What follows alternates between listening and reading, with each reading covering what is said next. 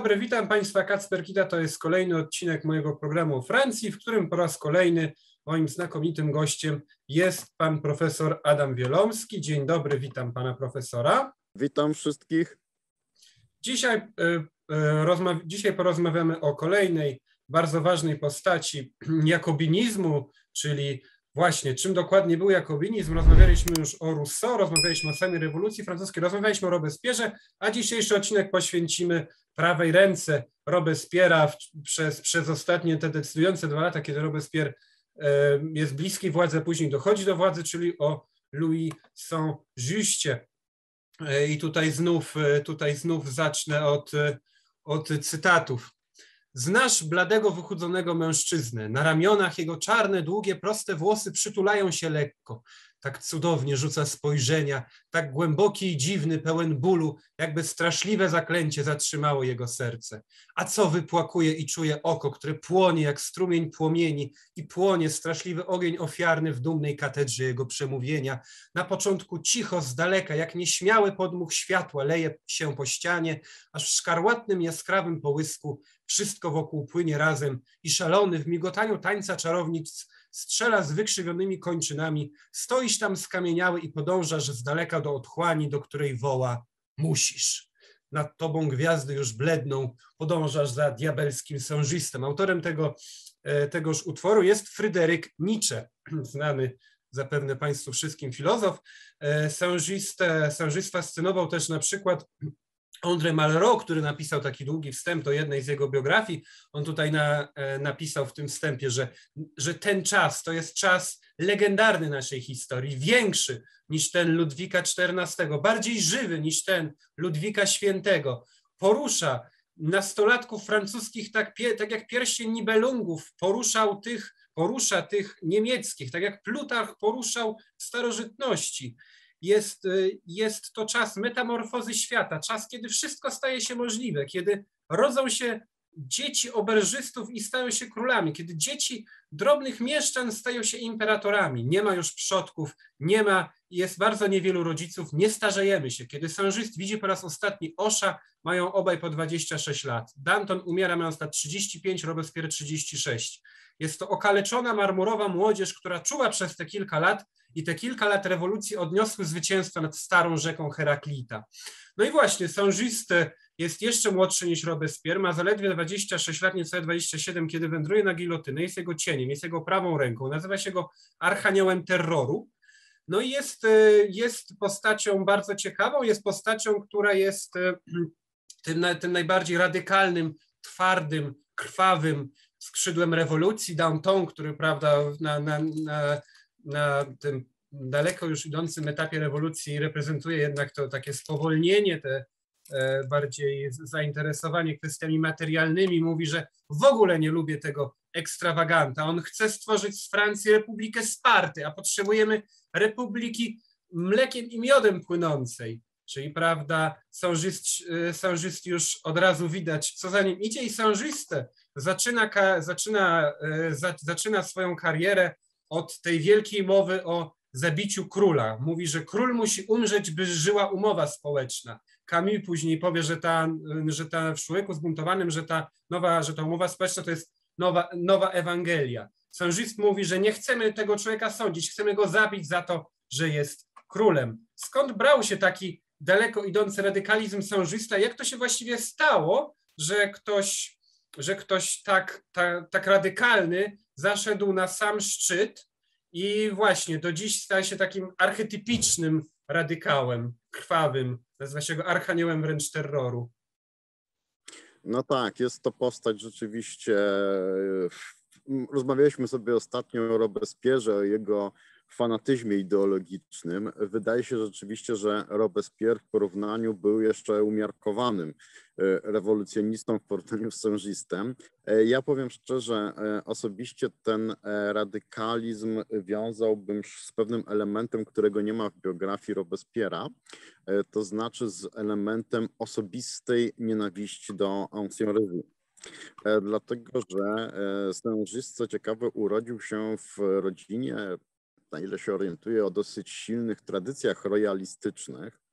Jego przez wcześnie zmarły ojciec tam był oficerem i miał jakiś tam order, chyba się nie pomyślę, mieli świętego Ludwika, czyli prawda, jeden z, jedno z wyższych odznaczeń ówczesnych królewskich. Wychowany w rodzinie mocno jeszcze katolickiej. No i potem. A to teraz? Myślę, że e, trzeba pamiętać zawsze, oceniając sędzista, e, element osobisty z jego biografii, który w moim przekonaniu mógł być decydujący i pewnie był dla jego radykalizmu przeciwko ancien reżimowi, monarchii, wszystkim tradycyjnym instytucjom. E, otóż sężisty w wieku 18 lat zakochał się w jakiejś zamożnej pani z sąsiedztwa i nie został, mówiąc delikatnie, potraktowany poważnie przez swojego niedoszłego teścia, który uznał go za smarkacza, prawda? I wydał swoją córkę dosyć szybko e, za mąż za innego, bardziej zamożnego e, adoratora.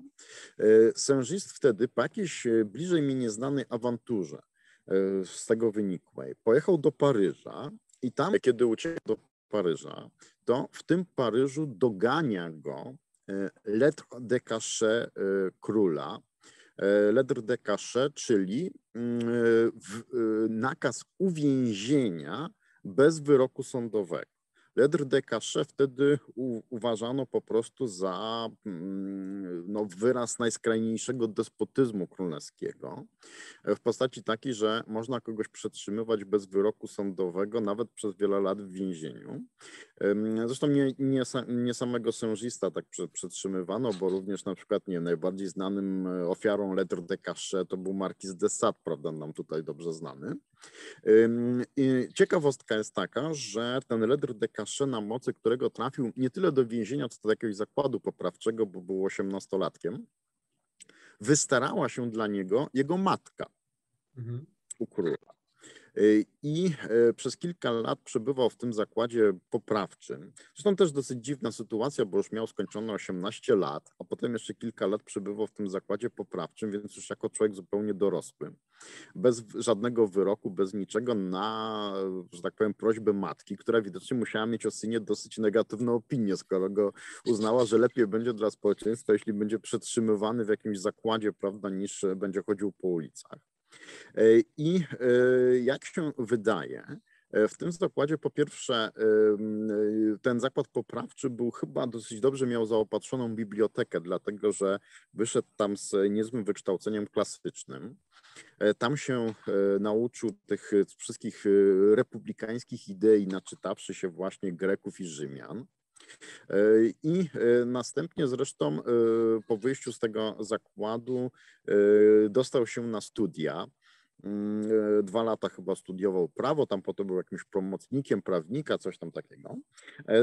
Ale w każdym razie wtedy też właśnie w ciągu tych kilku lat spędzonych w tym zakładzie poprawczym wyuczył się olbrzymiej nienawiści do instytucji monarchii, do kościoła i do wszystkich instytucji tradycyjnych.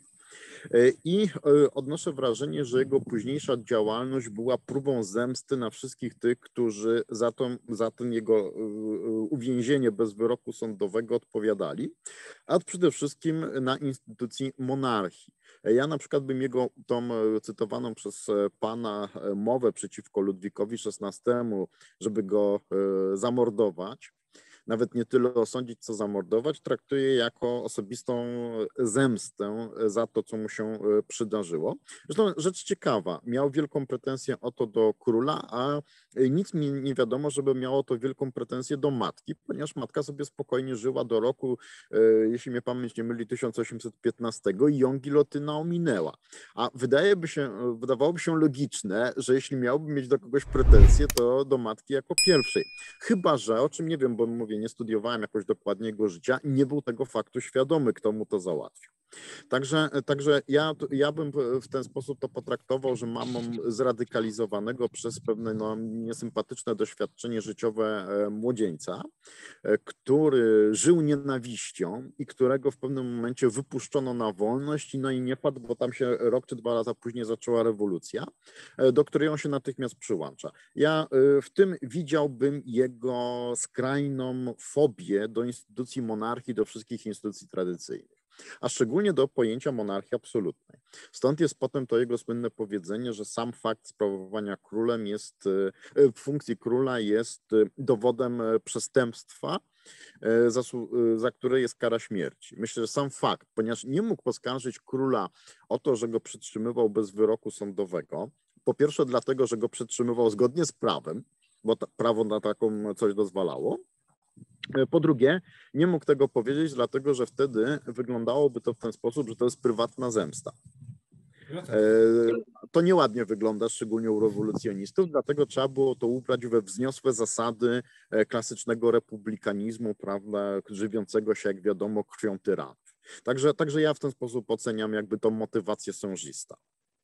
No to, to, to rzeczywiście wydaje mi się, że to jest, jest ten najważniejszy motyw osążysta, to znaczy jest to, jest to mm, jakby, o ile jeszcze Robespierre wydaje się, stara się jednak, e, stara się jednak, tak jak żeśmy rozmawiali o, e, o, o volonté générale, którą on bierze, którą Robespierre bierze od Rousseau, stara się jednak, żeby rzeczywiście wyglądało to tak, że on sprawuje władzę w imieniu narodu, to wydaje się, że Saint-Just jakby idzie krok dalej i jest już, jest jakby od niego, on jest takim ojcem samej tej idei, że w imieniu narodu e, będzie sprawowana totalna, absolutna władza przez jakąś wąską grupkę. Wąską grupkę ludzi, którzy, prawda, rozpoznali właściwie te idee, e, rozpoznali właściwie te, te, te, te volonté générale, to co, to, co powinno się wydarzyć i w praktyce e, sążyst już otwarcie głosi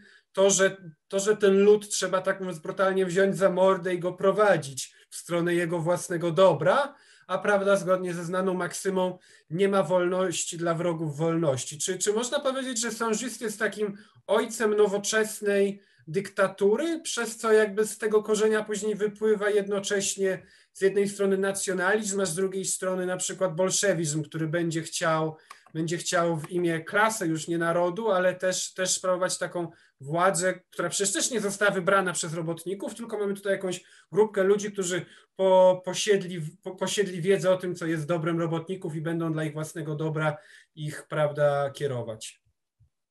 E, myślę, że jest rzeczywiście to, co Pan mówi, słuszne, słuszne spostrzeżenie. Robespierre jakby no wpadł w pułapkę, można powiedzieć, to znaczy przejął władzę, wierząc w to, że rządzi w imieniu ludu. W pewnym momencie się zorientował, że ten lud go wcale nie popiera i miał do wyboru podać się do dymisji i przyznać się do błędu, że nie reprezentuje woli ludu, e, albo rządzić dyktatorsko i wybrał tą drugą możliwość, nie umiejąc się cofnąć. E, wydaje mi się, że e, Sążyc rzeczywiście jest przypadkiem odwrotnym. E, to znaczy, on jakby z góry zakładał, że tak ma być, dlatego że z góry zakładał, że jakby celem przede wszystkim rewolucji jest zemsta na dotychczasowych rządzących Francją, czyli na, na królu, duchowieństwie i szlachcie. Pamiętam, że w jego wyborze PiS, który zresztą jest w języku polskim, jest takie fajne zdanie e, właśnie sężista, który mówi, że pomiędzy ludem i jego wrogami jest tylko ostrze miecza.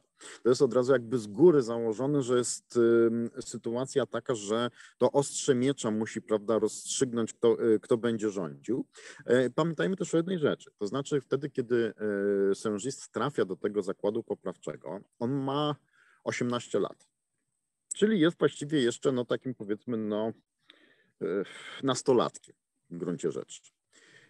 Kiedy z niego wychodzi, to jest rok 87 bodajże z tego co pamiętam, czyli na dwa lata przed wybuchem rewolucji. E, I tak naprawdę jego dorosłe życie w społeczeństwie przed rewolucją to są zaledwie dwa lata. Jego doświadczenie życiowe jest e, żadne. On jedyne życie, jakie zna, to jest, y, to jest biblioteka. Można powiedzieć gdzieś tam, prawda, w tym zakładzie poprawczym. I to jest właściwie wszystko, co on zna. E, dlatego też, e, dlatego też e, myślę, że jego radykalizm z tego wynika, bo to jest chęć zemsty, kompletna nieznajomość życia i rzeczywistości i życie jakimiś właśnie ideałami Spartan, nie wiem, tam Rzymskiej Republiki. On się tam z tego co pamiętam do Brutusa bardzo chętnie porównywał, prawda, czyli do tego, do tego, który gotów jest zabić każdego, kto będzie chciał, będzie chciał obalić republikę. Stąd moim zdaniem jest ten jego niezwykle teoretyczne podejście do rzeczywistości politycznej, dlatego że on nigdy tak naprawdę nie zdążył e, poznać e, życia, prawda, y, zobaczyć jak wygląda świat i tak dalej, widział go z krat albo jeszcze wcześniej jak był dzieckiem. Y, I to w moim przekonaniu ten no, niedoświadczenie życiowe bardzo mocno rzutuje na, na jego na jego e, działalność, na jego ekstremizm. I rzeczywiście faktycznie jest tak, że stanowi on źródło potem wszystkich różnych rewolucjonistów, bo rzeczywiście mamy tutaj do czynienia z fanatykiem. I, i jeśli chodzi o leninizm, to, no to podstawowy problem będzie taki, żeby zastąpić pojęcie narodu, nation, poprzez klasę społeczną, czyli ten proletariat. E, to może od razu powiedzmy o, tym, o, tym, o tej zmianie, kiedy ona nastąpi.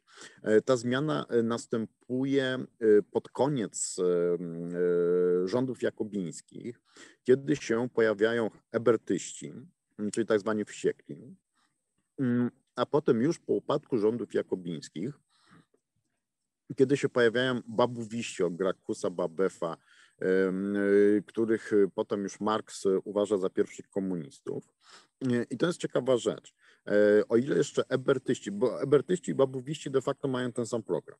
O ile ebertyści jeszcze uważają się tylko i wyłącznie za patriotów, czyli um, używają pojęcia typowego dla tradycji rewolucyjnej, um, o tyle babuwiści e, i sprzysiężenie równych Babefa zaczyna stosować dwa pojęcia wymiennie. To znaczy zaczynają stosować wymiennie pojęcia naród i lud, rozumiejąc pod pojęciem lud niższe klasy społeczne. I to jest bardzo charakterystyczne właśnie dla babuwizmu, e, że w, w, różnych wystąpieniach, pismach, przemówieniach Babefa e, naród i lud zaczyna występować jako synonimy. E, pod pojęciem ludu Babef rozumie tych, którzy pracują fizycznie. Innymi słowy, narodem dla Babefa są tylko ci, którzy pracują fizycznie. No i tutaj już do proletariatu, prawda, w pojęciu marksistowsko-leninowskim rzeczywiście jest dosyć blisko. Włącznie z tą ideą jeszcze, że proletariat, który dojdzie do władzy, wtedy jeszcze naród, prawda, łamane przez ten lud pracujący, nazwijmy to w ten sposób, e, no to rządzi on za pomocą czystego terroru. No i w pismach Babefa to znajdziemy takie elementy już e, czystego terroru. Niestety nie ma ich w tym wyborze pism, który znajduje się po polsku, ale gdzieś tam w domu posiadam jakiś wybór pism Babefa e, w języku francuskim, wydany zresztą przez przeciwników rewolucji francuskiej, konserwatystów dwudziestowiecznych. No to tam są całe takie fragmenty o tym, jak to właśnie takie wizje, gdzie wszyscy arystokraci, bogaci mieszczanie będą e, wywożeni statkami na środek Sekwany i Loary i tam się będzie robiło w statku dziurkę i prawda, całe, całe klasy posiadające zostaną zlikwidowane fizycznie poprzez topienie ich w rzekach. No to już jest typowo właśnie model leninowski. Jak się do tego połączy to, że ten, e, ten naród zaczyna być utożsamiany z pracującymi czyli z ludem pracującym. Jest nawet takie pojęcie, prawda, potem w, ideo, w ideologii, czy właściwie w propagandzie komunistycznej ludu pracującego.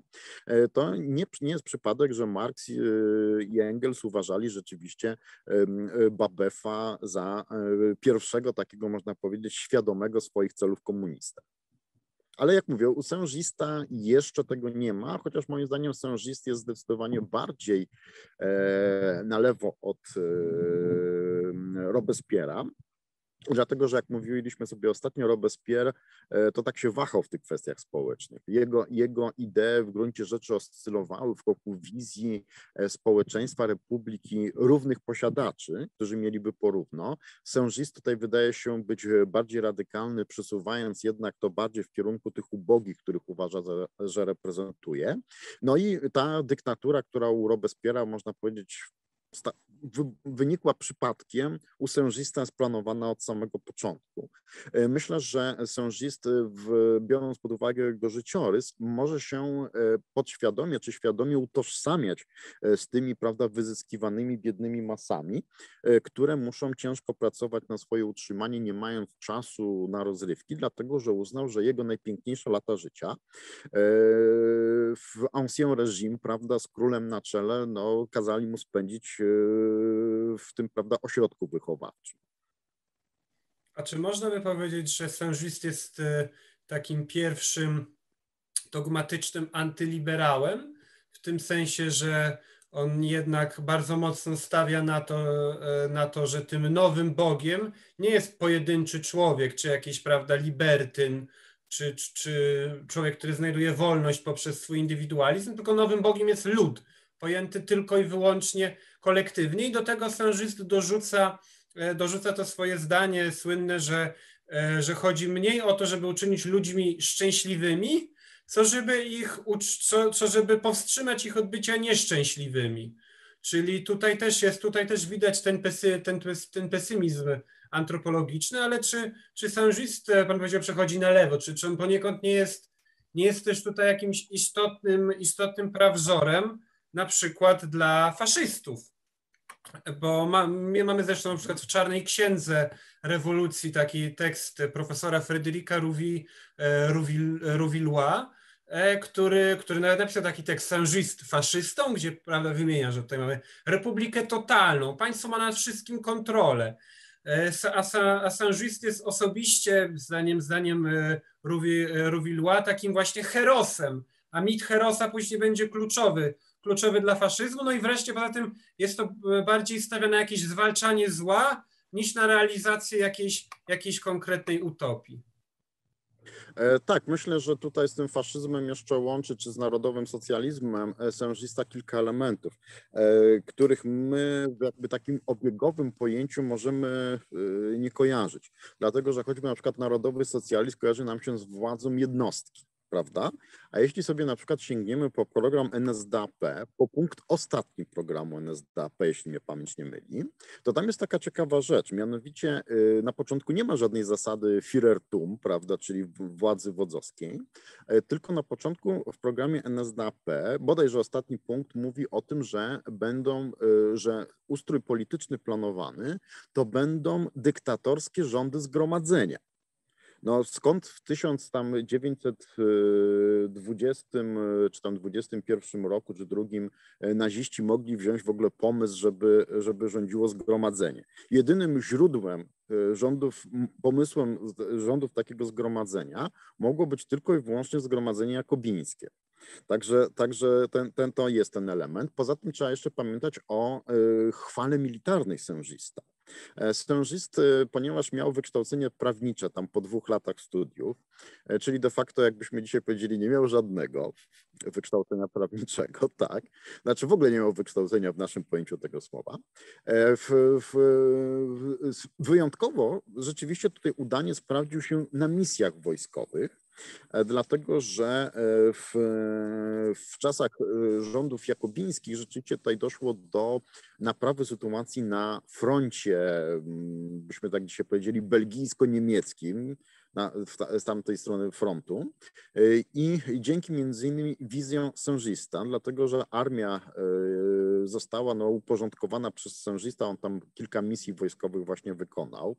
Y, no, jako dowódca może nie był najlepszy, tam się jakąś uparł na jakiś szturm miasta Charleroi, które się zakończyło porażką, ale w każdym razie podniósł morale armii, ją można powiedzieć zreorganizował do nowoczesnej siły zbrojnej, dlatego ten element ekspansjonistyczny właśnie u Sężysta jest e, bardzo charakterystyczny i byśmy dzisiaj nawet powiedzieli taki no unioeuropejski, e, to znaczy przekonanie, że rewolucja musi mieć charakter no mniej czy bardziej uniwersalny, a nie może zatrzymać się e, w jednym kraju. Także tutaj Sężyst zdecydowanie dla Francji jego zasługi już takie obiektywne, nawet z naszego punktu widzenia, militarne, były jednak, były jednak spore, dość duże i myślę, że warto byłoby też o tym pamiętać, mówiąc o tym, że Saint-Just może być traktowany jako e, ojciec faszyzmu.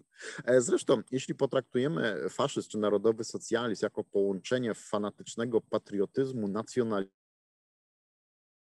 w przypadku III Rzeszy rasizmu, e, z takim, no można powiedzieć, socjalizmem państwowym, nie klasowym, a państwowym, gdzie państwo zarządza wszystkim i prowadzi taką gospodarkę wojenną, Kriegswirtschaft, jak to określono w I wojnie światowej w Niemczech, no to Sężyst jako organizator armii rzeczywiście też pasuje do tego modelu gospodarki wojennej, prawda, z cywilem zarządzającym, wojskiem organizującym, a nawet od czasu do czasu dowodzącym tym wojskiem, prawda? Także, także, także to, to myślę, że to porównanie jest istotne. Poza tym, no przede wszystkim młodość. Jest on najmłodszym, z tego co pamiętam, posłem do e, konwentu jakobińskiego. Tak, tak, tak. Dopiero Mario Marszal go przybija rekord jego. Tak, także jest jednym z najmłodszych, więc ten element tego, tej, tej prawda, żenes młodości, który potem również w faszyzmie będzie zdecydowanie istotny. Do tego element estetyczny. Ja powiem tak, no jako facet to tak za bardzo tak się na tym nie znam, ale y, podobno kobiety ówczesne się nim zachwycały, że był taki przystojny, prawda? Mm-hmm. Jest tam różnych jego parę y, posągów, rzeźb i malowideł, no ja się tam nie wypowiem, bo się nie znam, ale panie to tam mogą sobie zobaczyć, rzucić okiem, czy rzeczywiście taki przystojny, ale to też oczywiście jest ideał, no jak najbardziej taki bym powiedział faszystowski, e, to znaczy ideał właśnie młodego, charyzmatycznego, przystojnego, prowadzącego, prawda, armię, lud i tak dalej e, chociaż oczywiście nie ukrywam, że e, myślę, że sężystowi zdecydowanie bliższy byłby model faszyzmu włoskiego niż narodowego socjalizmu. E, z tego prostego powodu, że nie ma u sężysta nic, co moglibyśmy wskazać na jakieś elementy rasowe, rasistowskie czy coś w tym rodzaju. U niego czegoś takiego nie ma. U niego jest raczej chęć stworzenia no, takiej zjednoczonej Europy pod hegemonią francuską i według francuskiego wizji świata, francuskiej polityki, francuskiego prawa. E, to, to to, to, to taki, można powiedzieć, to taki troszeczkę no, mały Napoleon. Taki. O, właśnie to pan teraz powiedział mały Napoleon, właśnie o to chciałem za, zadać kolejne pytanie, ponieważ to porównanie, z tym porównaniem też się spotkałem.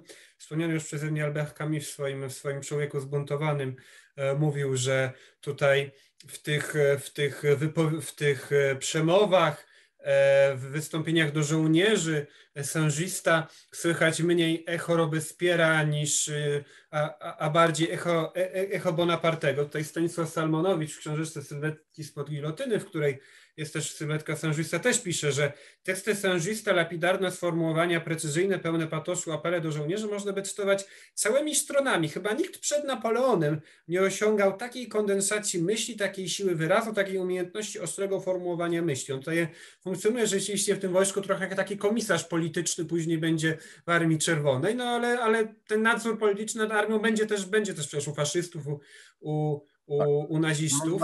Polityczny nad armią jest e, konieczny, dlatego że pamiętajmy, że większość oficerów to, była, to byli oficerowie, którzy porobili kariery jeszcze w, e, za czasów e, królewskich, no mhm. i po prostu im do końca nie ufano. A z drugiej strony no, rewolucjoniści francuscy nie zdecydowali się zrobić czystki w wojsku jak Stalin, prawda, z Tuchaczewskim i resztą generalnicji. No i potem skutek to był, prawda, wojna z Finlandią 39-40, początek wojny z Niemcami w 1941 roku. Tutaj zdecydowano się zachować, prawda, ty, tych starych oficerów, no ale oni byli potencjalnie niebezpieczni. Zresztą nie zupełnie tak nawet bez powodu się ich obawiano. Tam jakieś były spiski Dimurieza, pamiętam i tak dalej. E, więc on jest takim rzeczywiście oficerem politycznym, który można powiedzieć nadzoruje, e, nadzoruje e, zresztą dosyć skuteczne, skutecznie, prawda, armię. Także, także też można go do tego porównać właśnie tego elementu napoleońskiego. No i rzeczywiście tu się zgadzam, ta umiejętność wyrażania takich patetycznych myśli. E, pamiętam, że jak czytałem jego pisma, to właśnie tych patetycznych myśli tam było masa. Myślę, że z tego powodu był on jednym z autorów e, nowej deklaracji praw człowieka, tej jakobińskiej. E, zresztą swoją drogą bardziej, bardzo mocno socjalnej, takiej byśmy dzisiaj powiedzieli. E, był chyba też jednym z redaktorów, no bo się uważał za prawnika po dwóch latach studiów tej konstytucji, e, konstytucji jakobińskiej, która nie weszła w życie. No ale to akurat, że po dwóch latach prawa był autorem konstytucji, to nie jest nic strasznego. Russell Kirk, krytykując myśl taką oświeceniowo-rewolucyjną, zawsze mawiał, że projekt konstytucji jest w stanie napisać zdolny student pierwszego roku prawa prawa, prawda? Tylko problem polega na tym, czy ta konstytucja będzie miała jakiekolwiek e, zakorzenienie w rzeczywistości, prawda? E, I ta jakobińska oczywiście też nie miała i traktowana była, potraktowana została jako taki wielki manifest, można powiedzieć, ideologiczny w stylu takim, no o co walczymy, prawda? E, bo nigdy nie weszła w życie i w moim przekonaniu zresztą nie miała nigdy wejść w życie, dlatego że zakładała demokratyczne wybory. Na wszystkie demokratyczne wybory oznaczały niebezpieczeństwo, że Francuzi pójdą e, masą, zagłosują przeciwko temu reżimowi, prawda? Także ja myślę, że Sężist, który był, nazwijmy to, uważał się za przedstawiciela nie ludu. On się uważał za przedstawiciela idealnych republikańskich wartości. E, nigdy nie dopuściłby do przeprowadzenia jakichkolwiek rzeczywistych wyborów, a jeśli już by jakieś przeprowadzono, to na zasadzie, jak mawiał potem, no nie wiem, jedni mówią Czałczewsko, a drudzy Stalin, nieważne kto głosuje, ważne kto liczy. E, dlatego, że myślę, że y, mamy tutaj do czynienia z krańcową postacią, która uważa, że e, legitymizacja władzy nie pochodzi ani od Boga, ani od tradycji, jak mówiła tradycja przedrewolucyjna, i katolicka nie pochodzi ani od ludu, jak mówi Rousseau, a jeszcze o tym wspomina Robespierre, uważam, że Saint-Just uważa, iż e, e, uzasadnieniem władzy są kwestie ideologiczne. Legitymizacja władzy pochodzi z wierności ideologii. To jest zresztą bardzo ciekawy przykład no jakby takiego mm, koła logicznego. Dlaczego? Dlatego, że uzasadnienie władzy pochodzi z, ideolo- z wierności tej władzy ideologii, a głównym twórcą ideologii jest sama władza na czele z sążistem. To jest takie, takie logiczne koło się tworzy w ten sposób, z którego ostatecznie wynika, że sężyst, zaczytany w Plutarchu, prawda, Tytusu Liwiuszu i kilku innych, e, sam ustala, co jest ideologią republikańską i sam ocenia, Y, czy jego władza jest dalej prawowita, ponieważ y, walczy słusznie o wartości i idee republikańskie. Mhm. Bo tutaj jest taka różnica, może też do Robespiera. Robespierre na, na przykład e, bardzo chętnie e, w swoich różnych wystąpieniach e, dokonywał przekręcania znaczenia słów. Mhm. Jest na przykład taka jego znana definicja, że rząd rewolucyjny jest to despotyzm wolności przeciwko tyranii. I u niego cały czas jest wizja, że y, jego władza to jest idea wolności w postaci despotyzmu. Czyli można powiedzieć, to co my znamy potem z systemów totalitarnych, przekręcanie słów, prawda, są całe książki o językach totalitarnych i tak dalej, no to y, Robespierre jest ojcem tego, tego procederu. E, a wydaje mi się, że Saint-Just w tym sensie jest uczciwszy intelektualnie. On nie y, manipuluje słowami. On nie mówi, że broni wolności republiki, on broni cnót republikańskich. Na cnoty republikańskie w skrajnym przypadku może się zdarzyć, że w danym kraju na przykład podziela je tylko kilka osób, albo nawet sam jeden stanowisk, prawda? Tak. E, także, także on jest tutaj w tym sensie jest moim zdaniem bardziej, bardziej logiczny i mamy tutaj do czynienia z motywacją ideologiczną e, połączoną z niezwykle silną motywacją witalną, czyli władzą. No tak, to on rzeczywiście jest na pewno mniej oderwany od rzeczywistości niż Robespierre w tym sensie, że na przykład no, ma normalne relacje z innymi ludźmi i tak dalej.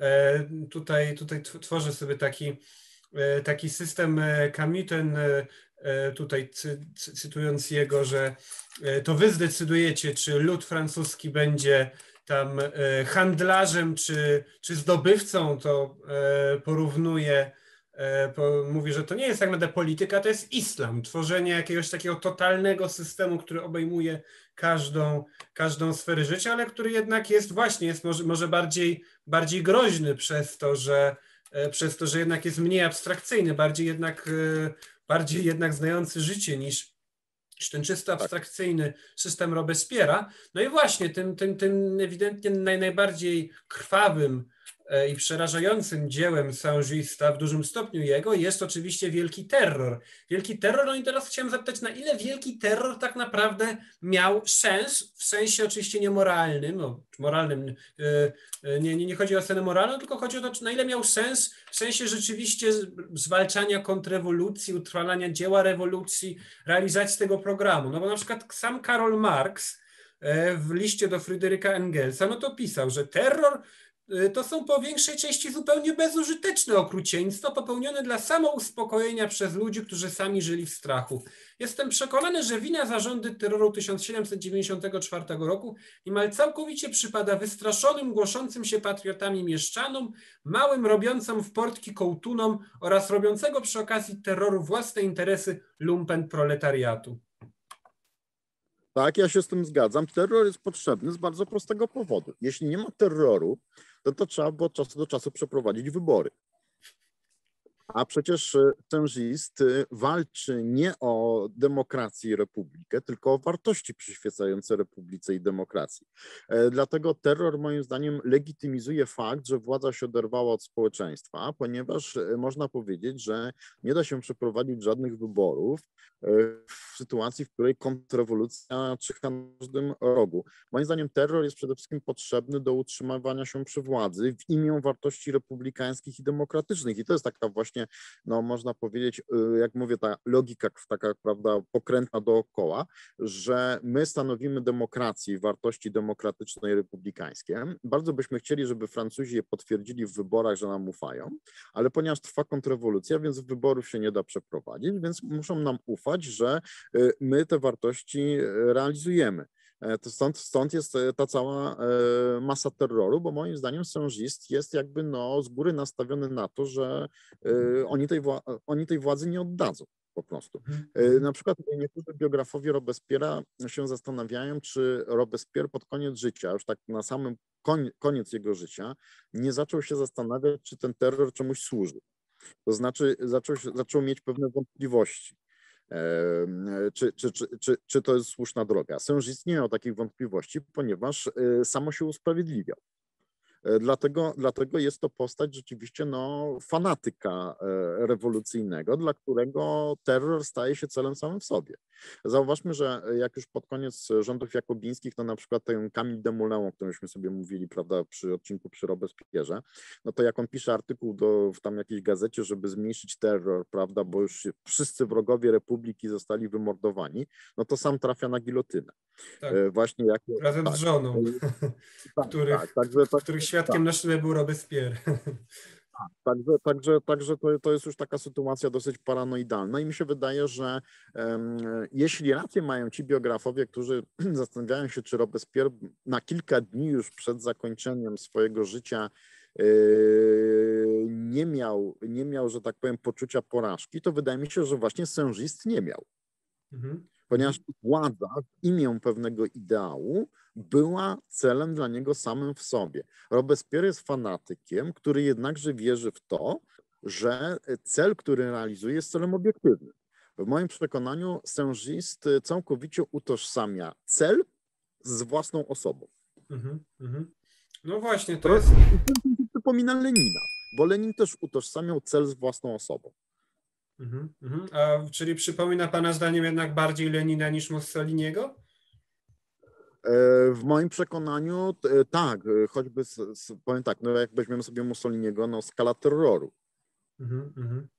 No, skala terroru jest e, mniejsza. We Włoszech Mussoliniego w latach 22-40, czyli do wejścia Włoch do wojny, wykonano w sprawach politycznych, jeśli mnie pamięć nie myli, 31 wyroków śmierci z czego większość to było na terrorystach chorwackich, którzy chcieli Półwysep Istria oderwać od Włoch i przyłączyć do Chorwacji czy też do Jugosławii. E, także, także skala terroru jest, nie, jest, kompletnie nieporównywalna, biorąc nawet ten fakt, że Robespierre przez 100 dni swoich rządów ostatnich podpisał 10 tysięcy wyroków śmierci, prawda?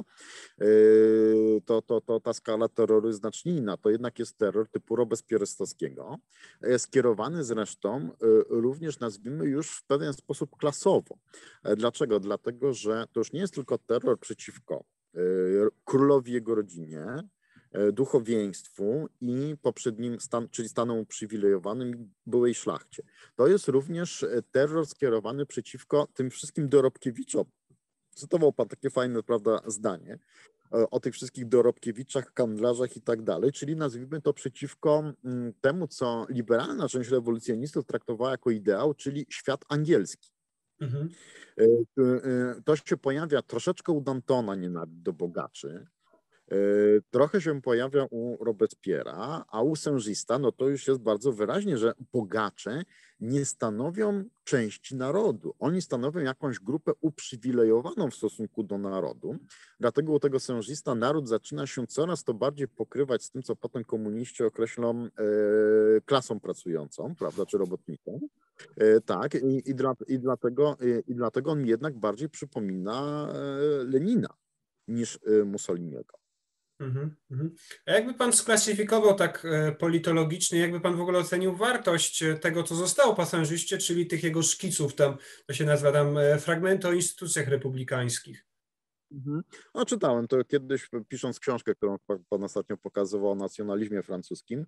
E, to jest czysto teoretyczne, e, że tak powiem, założenie, nie mające jakiegokolwiek ugruntowania w jakiejkolwiek wiedzy, wiedzy praktycznej o świecie, o Francji i tak dalej. E, w moim przekonaniu to jest właśnie ideał tych wartości republikańskich, w imię których on, on sprawuje dyktaturę. Mhm, ale tak, e, ale raczej taki oderwany od rzeczywistości i jakby go pan sklasyfikował, że to jest bardziej jakiś taki właśnie prefaszyzm, prebolszewizm? To jest strasznie teoretyczna wizja. Mhm, jest, mhm, dlatego ciężko sklasyfikować. Przeczytałem tą książkę z 15 lat temu, więc nie pamiętam e, szczegółów, no ale pamiętam, że wywarła na mnie wrażenie takiego, takiej no, rewolucyjnej scholastyki. Mhm. To znaczy ten nadmiar logiki e, przy opowiadaniu o systemie, który w ówczesnym świecie był zupełnie, zupełnie nie pasował do rzeczywistości. I to jakaś taka była zdegenerowana scholastyka postokhanistyczna, która się oderwała od e, Arystotelesa. Tak samo tutaj właśnie ten cały, cały, cały, e, cały bo ile te, to, to, co jest w języku polskim, ten wybór źródeł są głównie jego mowy i one są właśnie takie pełne patosu i fajnych różnych wyrażeń. O tyle pamiętam, że tam to było strasznie przeteoretyzowane. E, to, I to dosłownie straszne. Zresztą, co ciekawe, e, pamiętajmy, że sężist, który no, żył bardzo krótko, on zostawił po sobie te pisma polityczne jego, e, to pamiętam, że miały ponad tysiąc stron w sumie. Także on mhm. całkiem, całkiem sporo zdążył jeszcze napisać, ale to jest wszystko przeteoretyzowane, no bo jego wiedza o praktycznym świecie była po prostu nikła. Okej. Okay. No i ostatnie pytanie o sężista to jest pytanie o to, bo przynajmniej zdaniem części historyków sężist poniekąd zgodził się na własną śmierć, no bo nie próbował się ratować w momencie, w którym Robespierre upada. E, mógł, a, a, a mógł, prawda, jak, jakoś tam spróbować się od niego odciąć. Jest tutaj, jest tutaj cytat, e, cytat z Rousseau, e, który tutaj wyciąga Camus, że by nie stać się ofiarą zabójcy, zgadzamy się umrzeć, jeśli sami stajemy się, stajemy się zabójcami. Kamil tutaj widzi, e, widzi pewne, e, pewną antycypację procesów stalinowskich, w którym ludzie oskarżani, komun, idowi komuniści oskarżani o zbrodnie, sami jakby godzą się na to, żeby, e, żeby, zostać, żeby zostać zabici. Czy, czy, czy też, no bo przecież facet, który nie ma nawet 27 lat, całe życie ma przed sobą, a kompletnie nie próbuje się jakoś uratować swojego życia, mimo tego, że na pewno ma poczucie, że mógłby coś ze sobą zrobić e, wartościowego dla Francji czy jakichkolwiek innych ideałów. Czy to jest chęć zostawienia po sobie takiego właśnie mitu e, człowieka, który został zabity za swoje ideały, takiego właśnie herosa? Nie wiem, czy herosa, Brutusa. Mm. E, to znaczy tego, który umiera za republikę, bo przecież oczywiście no, ja raczej to tak z Brutusem widzę. To mhm. porównanie, że nastąpił, prawda, zamach na prawdziwą republikę, którą, to, którą prawda, Robespierre uzewnętrzniał swoją osobą. W związku z czym trzeba zginąć za republikę i stać się E, i stać się takim właśnie zmitologizowanym herosem, który się poświęcił za republikę po to, żeby na następne 2000 lat republikanie jeszcze go wspominali. Ja, ja, ja w ten sposób widzę. To oczywiście świadczy o fanatyzmie skrajnym, no bo to jest już coś, co no, jeśli Hobbes mówi, że pierwszym prawem natury jest samozachowanie, to tylko e, element niezwykle ideowy lub sfanatyzowany ideologicznie, jest w stanie poświęcić świadomie swoje życie i nie próbować e, ratować. Pamiętajmy, że tam jak Robespiera, Robespiera e, właśnie no, wyprowadzano, to tam któryś z posłów jakobińskich jeszcze zgłosił się na ochotnika, że on też chce być wyprowadzony, mimo że go nikt nie chciał aresztować, prawda? Także, także to pokazuje, że jest tam rzeczywiście pewien, już nie pamiętam, który to był, jak się nazywał, ale w każdym razie on wstał i powiedział, że to powinien aresztować i zgilotynować, to ponieważ ja się utożsamiam z nimi, to ja też z nimi idę. Prawda? No i też go zgilotynowali, no, a, a, a, wcale, a wcale nie musiał ginąć, nie? E, także to, to, to jest taki, taki, taki, taki rys fanatyczny e, rzeczywiście. Nie wiem, czy to jest e, kwestia stalinizmu, bo to nie był żaden proces pokazowy, prawda? To, to, to myślę, że raczej jest ideał właśnie nadmiernego czytania się w tych literaturze grecko-rzymskiej, w świecie, który nie wierzył w życie pośmiertne i w tą wiarę w to, że jedyną formą życia pośmiertnego, przepraszam, jest sława, która zostaje po człowieku po śmierci, którą będą żyły kolejne pokolenia, tak jak na przykład tam, nie wiem, bohaterowie Iliady, prawda, żyją pośmiertnie i wszyscy dzisiaj tam e, znamy ich imiona, prawda, no tak. mimo że płynęło 2,5 tysiąca lat, czy tam nawet więcej. Dziękuję bardzo Panu Tobu. Dzisiaj rozmawialiśmy o Sężyście. E, bardzo dziękuję. Naszym gościem był pan profesor Adam Wielomski. Jeszcze raz pokażę książeczkę, którą pan profesor napisał o dwie książeczki o nacjonalizmie. Tutaj jedna, nowsza, Nacjonalizm bez problemu Europy i tutaj e, dotycząca już stricte nacjonalizmu francuskiego, praca, e, praca Nacjonalizm francuski 1886-1900 40. Dziękuję bardzo. W kolejnym odcinku porozmawiamy właśnie o tematach dotyczących, e, dotyczących nacjonalizmu już pojakobińskiego, czyli tego, e, tej drogi, którą przeszła, przeszedł nacjonalizm z tej jakobińskiej lewicy aż do Charlesa Morasa. Dziękuję też serdecznie i zapraszam wszystkich na mój kanał Adam Wielomski Naukowo o Polityce.